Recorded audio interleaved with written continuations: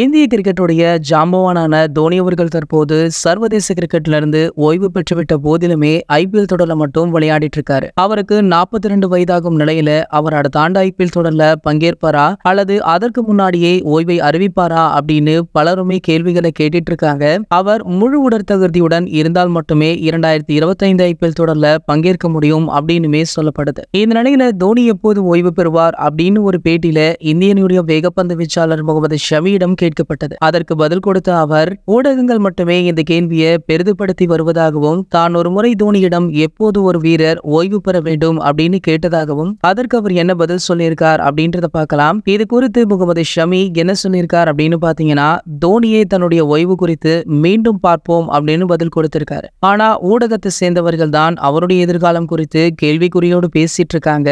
நான் தோனியிடமே எப்போது ஒரு வீரர் ஓய்வு பெற வேண்டும் அப்படின்னு கேட்டிருக்கேன். அதற்கு அவர் என்ன சொன்னார் அப்படின்னு பாத்தீங்கன்னா முதல்ல உனக்கு கிரிக்கெட் ஆடுவது சலிப்பை ஏற்படுத்திவிட்டால் ஓய்வு பெற வேண்டும். இரண்டாவது உன்னை அணியை விட்டு வெளியே அனுப்பி விடுவார்கள் அப்படின்னு தெரிந்தா அப்போது ஓய்வு பெற வேண்டும் அப்படின்னு சொல்லியிருக்காரா? முதல்ல நமக்கு எப்போது விளையாட்டை அனுபவித்து ஆட முடியவில்லையோ அப்போது நம்முடைய நேரம் முடிவுக்கு வந்துவிட்டது அப்படின்றத நம்ம தெரிந்து கொள்ளலாம். அப்போது நம்ம நம்முடைய சிறந்த தருணத்தை தேர்வு செய்து ஓய்வு பெற வேண்டும் அப்படின்னு சொல்லியிருக்காரா? இதனடுத்து பாத்தீங்கன்னா கடந்த ஆண்டு ஐபிஎல் போட்டியிலே ருத்ராஜ் தான் கேப்டன் பதவியை ஏற்று சிஎஸ்கே அணியை வழிநடத்தி வந்தாரு.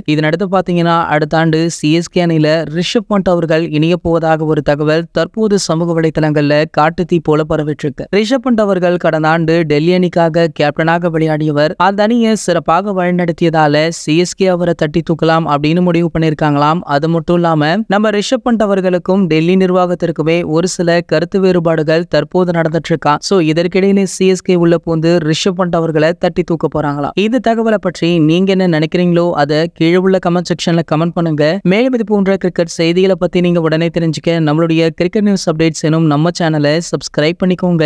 மேலும் பக்கத்துல உள்ள வெள்ளைக்கான கிளிக் பண்ணிட்டீங்கன்னா நீங்க நம்ம வீடியோவை மிஸ் பார்க்கலாம்.